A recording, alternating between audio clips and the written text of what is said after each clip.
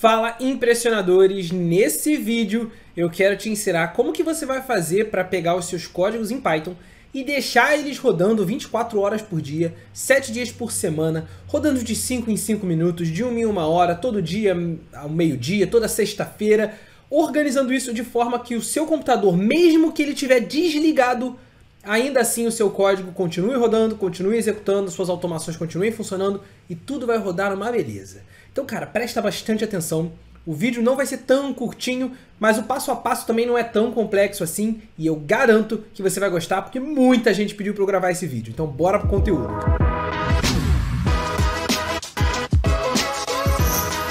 Bom, e se você curtiu essa ideia, a primeira coisa que você tem que fazer é deixar o seu like no vídeo, diretão assim, se inscrever no canal e presta bastante atenção. Para a gente fazer, eu recomendo muito que você. Eu vou fazer o passo a passo aqui todo com você. E eu recomendo muito que você faça exatamente o mesmo passo a passo que eu estou fazendo, tá? Tudo que a gente vai usar aqui vão ser ferramentas gratuitas e eu vou explicar isso ao longo do vídeo. Mas para você conseguir seguir exatamente o mesmo passo a passo que eu estou fazendo, eu já deixei esse código aqui pronto aqui embaixo para você poder fazer o download, tá? Esse código é um código em que basicamente eu estou pegando a cotação de moedas dentro de uma API específica. Estou pegando a cotação do dólar, a cotação do euro e a cotação do Bitcoin. E o que esse código faz, basicamente, é ele imprime aqui para mim, ele printa para mim aqui embaixo a cotação dessas moedas. Eu vou pedir para você, quando for exercitar agora comigo, fazer exatamente com esse código que eu disponibilizei aqui embaixo. Por quê? E você garante que quando chegar no final do vídeo você vai ter aprendido a fazer isso.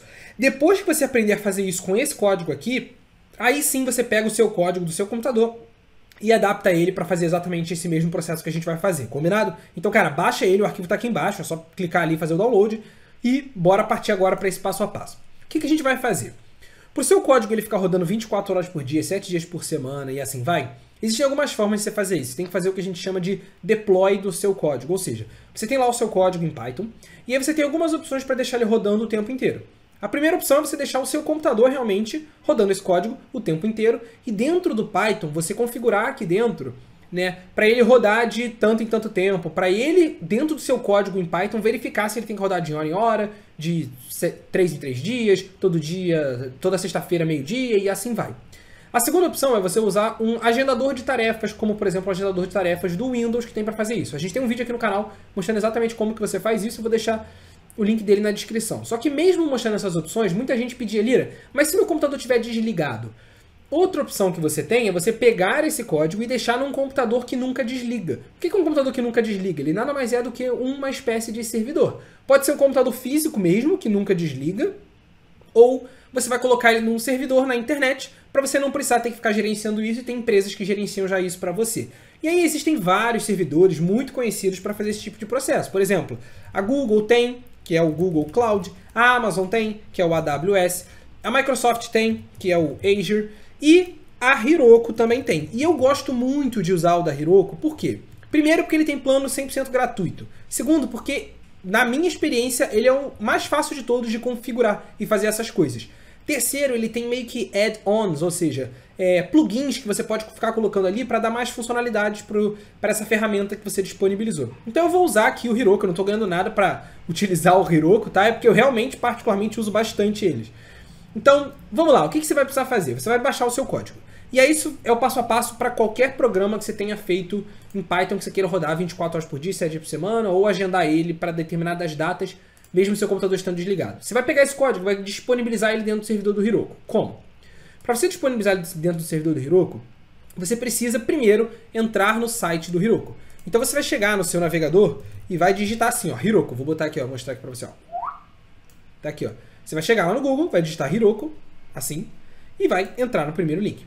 Quando você entrar no primeiro link, no meu caso, eu já tenho um login no Heroku. Então ele já me jogou aqui para minha página do meu login. No seu caso, você vai ter que criar uma conta no Heroku, tá? Tem um vídeo aqui no canal onde eu faço todo esse processo de configuração do Heroku bem passo a passo, caso você queira ver, tá? Criando a conta e tudo mais, eu não sei o que.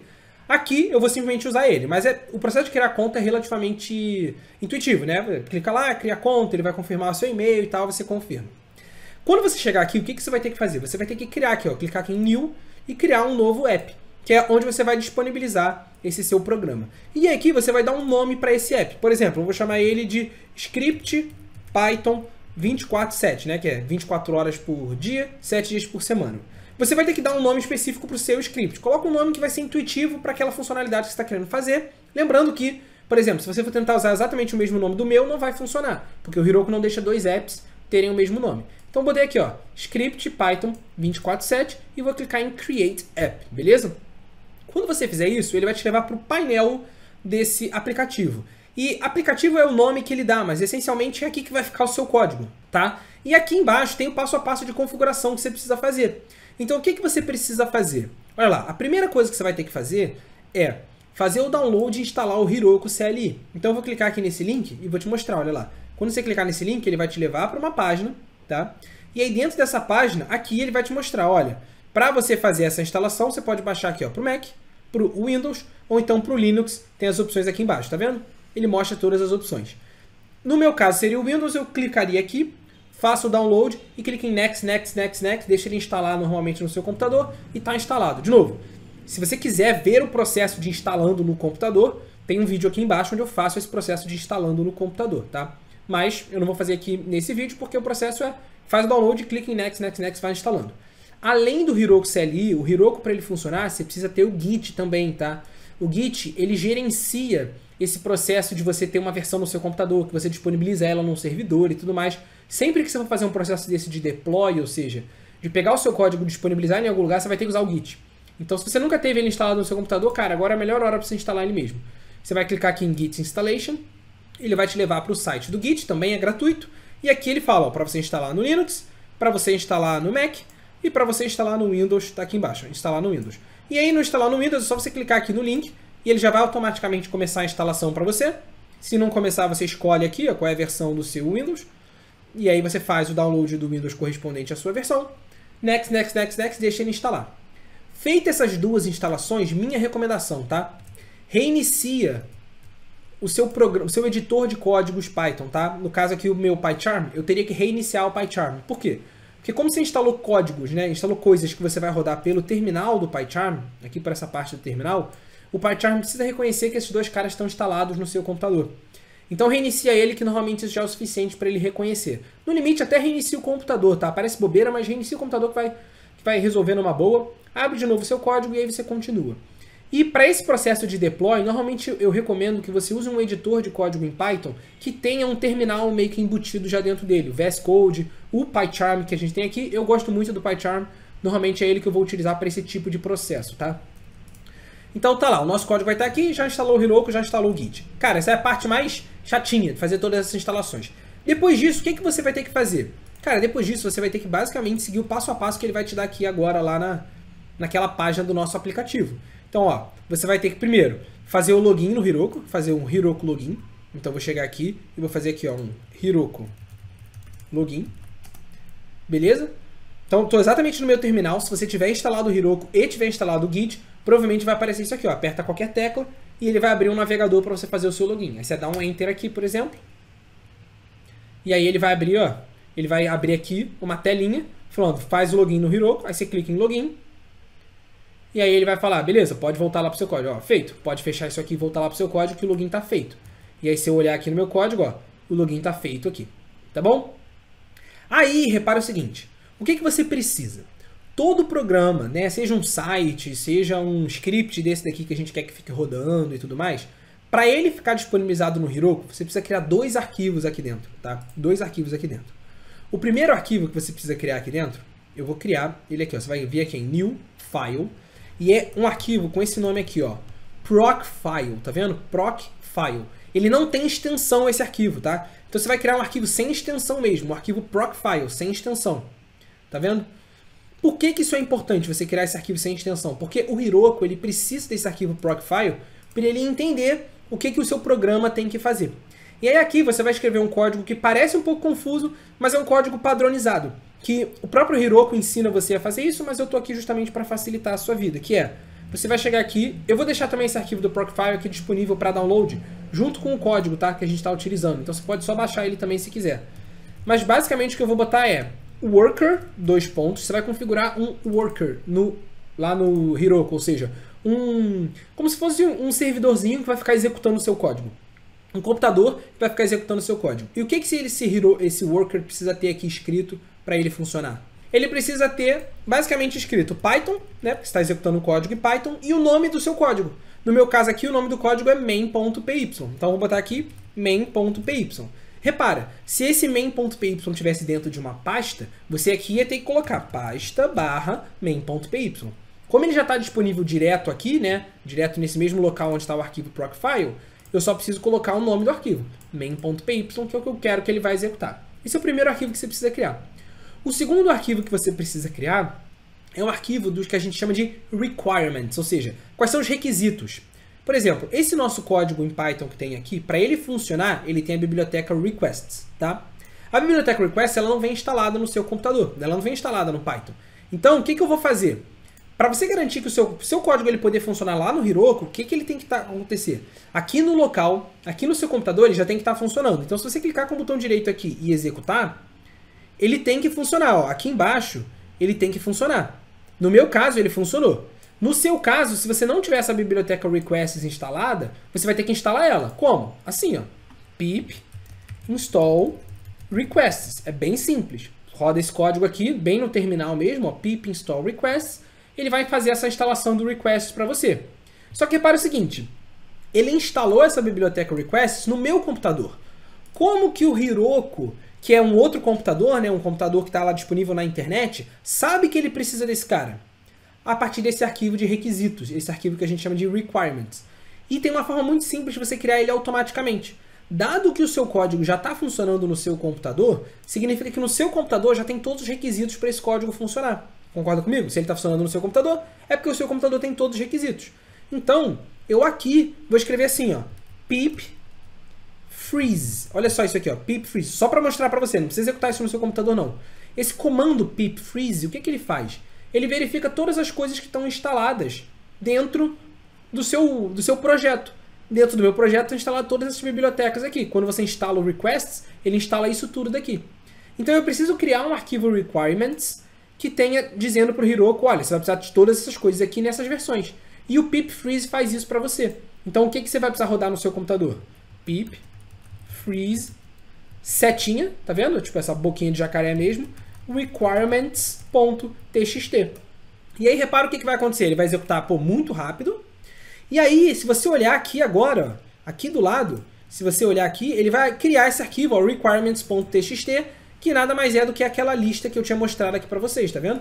Aquela lista, mas ele criou isso automaticamente pra gente. Beleza? Não precisa se preocupar com esse vermelhinho que está aqui, essa pergunta que ele faz, ah, quero incluir no Git e tal. Não precisa se preocupar com isso, que já já a gente vai resolver isso, tá?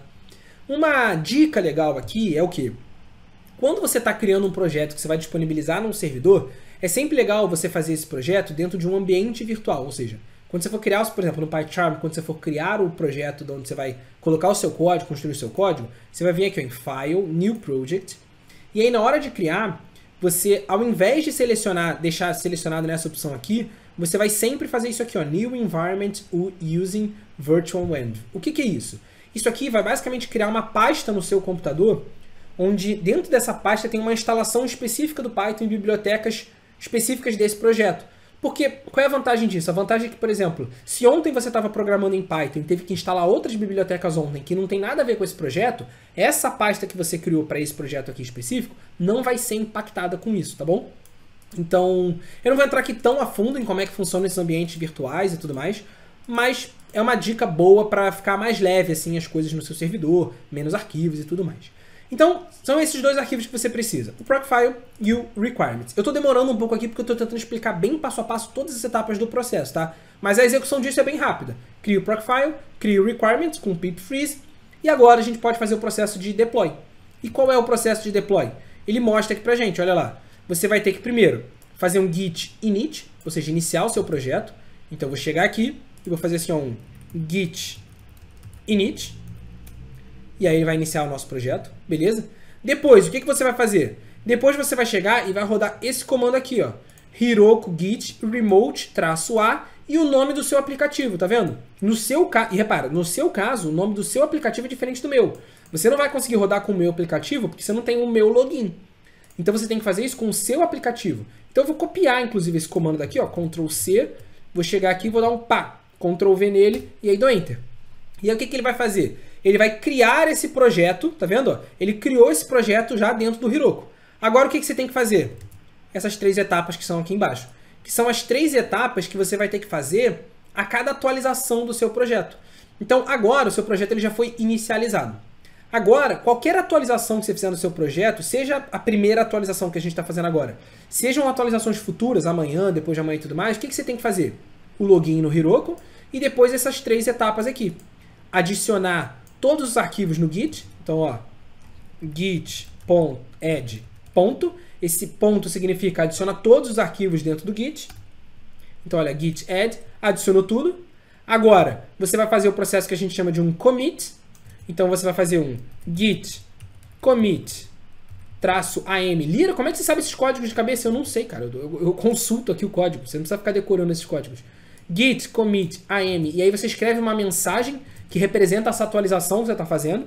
Então, eu vou chamar essa aqui de deploy inicial, porque é a primeira que a gente está fazendo.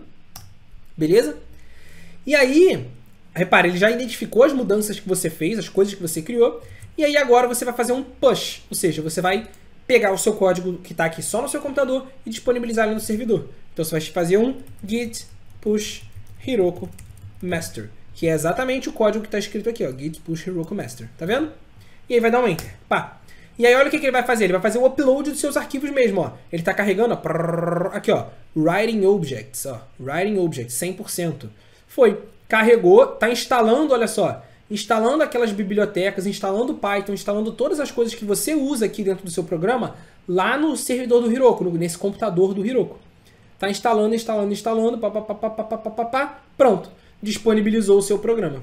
Tá vendo? Se você fez o passo a passo exatamente como eu fiz aqui, ele vai ter disponibilizado o seu programa. E aí, olha que legal.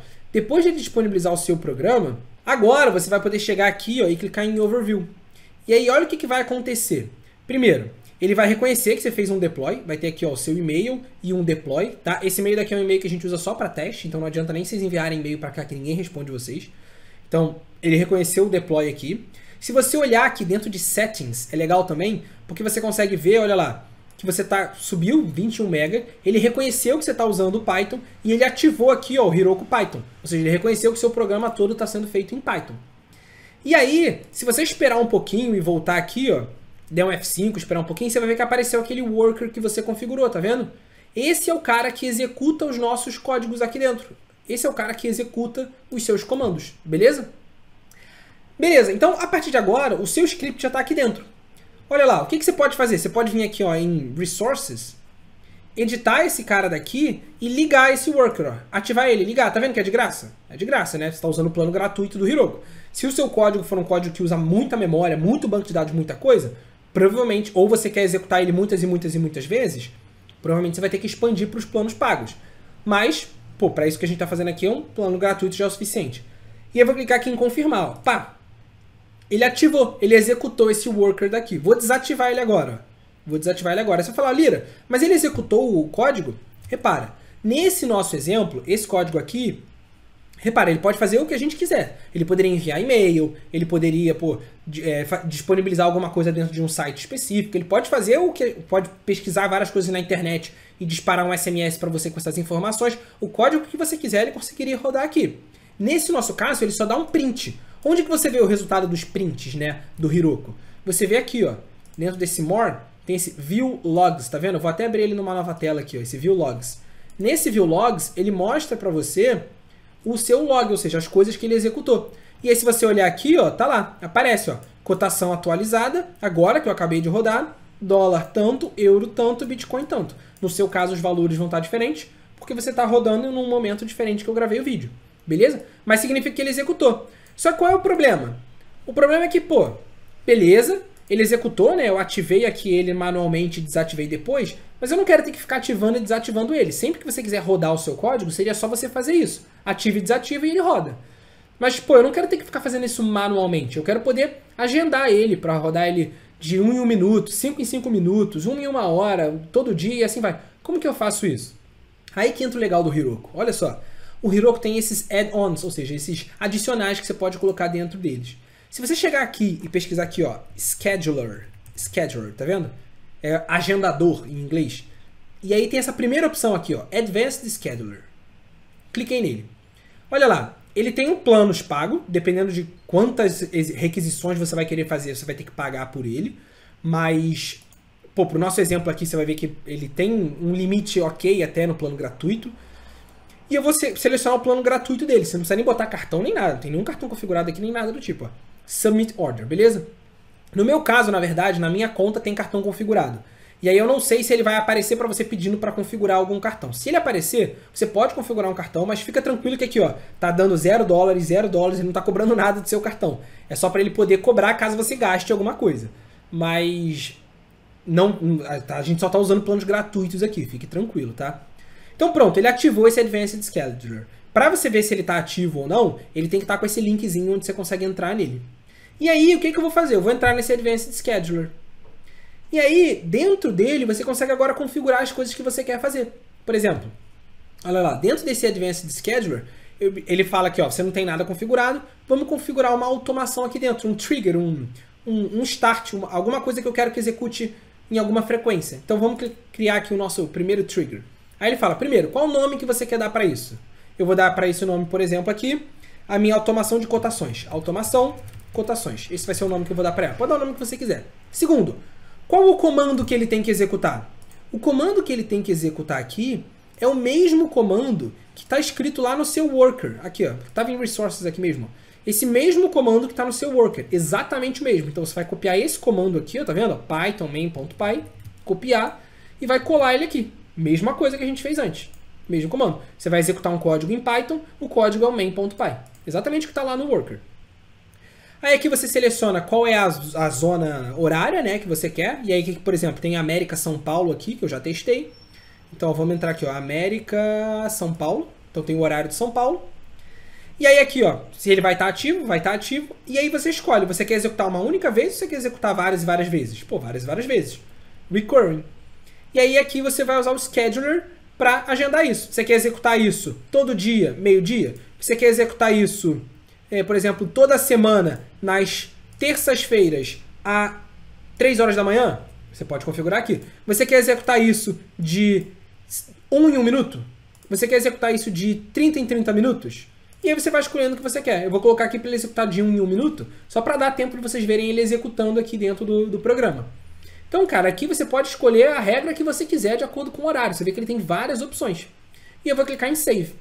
Olha lá, eu configurei para ele rodar a minha automação, e ele fica aqui configurado a automação a cada minuto no horário aqui de América São Paulo. Obviamente, esse fuso horário é para se você agendar, por exemplo, para uma hora da tarde, ele rodar uma hora da tarde do fuso horário que você escolheu. Pronto, tá feito. E aí, olha agora que legal, você consegue configurar até três triggers no plano gratuito, então foi o que eu falei, a gente, pô, configurou a nossa automação com um só, é o que precisa. E aí agora, se você olhar aqueles logs lá, olha só, a primeira vez ele já executou, tá vendo? Já executou. E aí olha bem o horário aqui, ó, que ele executou. Ele executou 21 horas e 19 minutos. Quando bater 21 horas e 20 minutos, ele vai executar aqui automaticamente isso sozinho, sem eu precisar fazer nada. Agora eu não faço mais nada no meu computador. Ele automaticamente já vai de minuto em minuto rodar isso. E cara, isso funciona de minuto em minuto, isso vai funcionar de hora em hora, isso vai funcionar de, pô, de semana em semana. O seu código já está aqui online, disponibilizado para ele rodar isso de quando quanto você quiser, sem você precisar estar com o seu computador ligado, nem nada ligado. Você pode inclusive deletar o programa do seu computador, que ele vai continuar funcionando. Ah, Lira, e se eu quiser fazer novas atualizações lá no meu programa, né? Pô, Lira, eu quero acrescentar um negócio novo, quero mexer alguma coisa. Como que eu faria para fazer isso?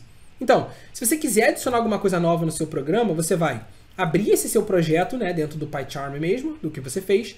Você vai fazer o login no Heroku, que foi aquilo que a gente fez lá no início, que a gente chegou aqui, digitou aqui, ó, Aqui embaixo a gente digitou assim, ó, Hiroko login. Você vai fazer o login no Hiroko, vai fazer as mudanças que você quiser dentro do seu projeto e depois que você fizer as mudanças que você quiser dentro do seu projeto, você vai ter que fazer o upload de novo. Olha lá. 9 horas e 20 minutos, rodou de novo, tá vendo? Rodou de novo a nossa cotação, a pegou a cotação atualizada. Cotação e a cotação atualizada. Como eu estou rodando isso por 9 horas da noite, as cotações aqui estão dando iguais, porque eu estou rodando isso, o mercado já fechou. Mas se você estiver rodando isso, sei lá, 3 horas da tarde, você vê que as cotações vão ficar mudando aqui, beleza? E aí, qual é o código que você tem que rodar, né, sempre que você quiser atualizar? O login do Hiroko, como eu estava falando, e depois que eu rodei do login do Hiroko, esses três códigos aqui. git add ponto, sem esse cifrão aqui. Esse cifrão é se você estiver rodando, por exemplo, no Linux e tal. Aqui no nosso caso é git add ponto, git commit e a mensagem que você quiser, git push Heroku Master. Sempre que você quiser fazer uma atualização, é só você fazer esse processo daqui o tempo inteiro. E pronto, tá pronto. Você pode fechar isso aqui agora e a sua automação tá feita. Beleza? Bom, galera, eu espero de verdade, de verdade mesmo, que vocês tenham gostado aqui desse conteúdo da aula de hoje. É, foi um negócio que muita gente pediu e eu fiz questão de tentar deixar o passo a passo mais redondo possível para vocês conseguirem fazer. Eu sei que o vídeo foi longo, mas ele foi longo porque eu fui explicando todo o processo. Se vocês forem tentar agora pegar e fazer o mesmo processo com vocês, vai assistindo o vídeo, vai tentando fazer do seu lado aí, mas eu tenho certeza que depois que você fizer o primeiro, o segundo, eu já usei tanto o Heroku que esse processo já é muito natural, já é muito rápido. Você não vai ter que ficar instalando o Heroku de novo, nem o Git de novo, nem nada do tipo. É só você pegar, pá, pá, pá, executar os passos, configurar e pronto. Sua automação está rodando ali sempre que você precisar. Beleza? Espero de verdade que vocês tenham gostado. Um grande abraço e até o próximo vídeo.